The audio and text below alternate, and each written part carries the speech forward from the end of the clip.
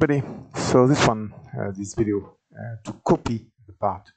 Of course you got only one axis and you are several who want to use this axis for the assembly. Uh, you can imagine with your student. So I've got one axis. So what I want to, to do is to copy and to rename it. So I go on the compass looking for life cycle. Okay don't forget this one is a widget. This one is an, an application. Okay? So you've got axis you go there to copy or to duplicate sorry. You select your part. So you can have a duplication string. So it could be assembly uh, design something or with your name of course because it's your part.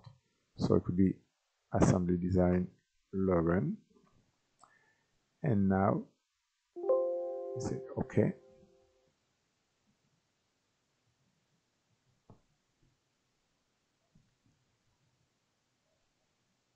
So now you can get your part assembly design the run axis. So you can work with this. Don't forget to save. Okay you can remove that one.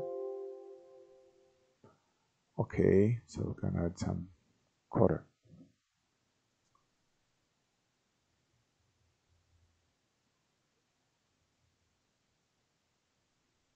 Perfect